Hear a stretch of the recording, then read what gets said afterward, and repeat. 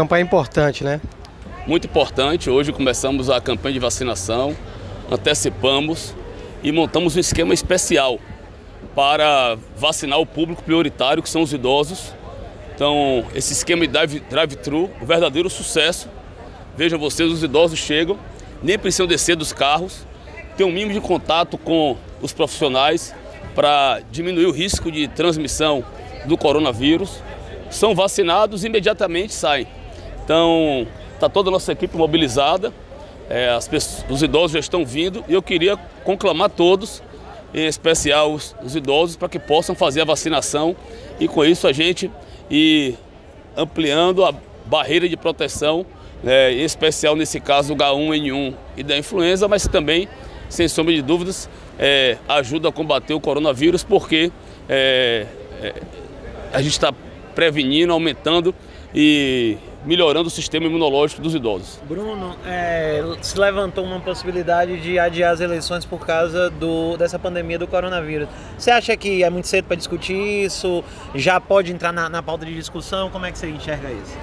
É, veja, o ministro ontem, ao abordar esse assunto, eu imagino que ele esteja é, com informações de que essa pandemia possa perdurar por pelo menos mais quatro, cinco meses. E se isso vier a ocorrer, é, o, a Câmara dos Deputados, o Congresso Nacional vai ter que iniciar esse debate, porque é, cabe a uma emenda constitucional para poder prorrogar ou alterar o calendário eleitoral. Então, imagino que se esse cronograma que se prevê de permanência da pandemia se confirmar, inevitavelmente o Congresso vai ter que travar esse debate.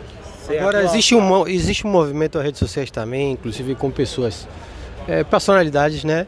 É, para destinar fundo, é, parte do fundo eleitoral, a totalidade do fundo eleitoral, é, a gestão municipal saiu na frente, cortou várias despesas. Eu acho que isso vai ser a tendência natural. É, a prioridade agora é salvar vidas e dar assistência às pessoas que vão sofrer com a grave crise social.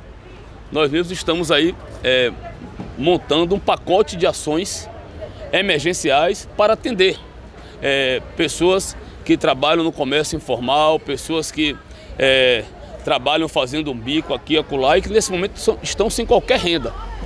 E a prioridade dos recursos hoje da prefeitura é o quê?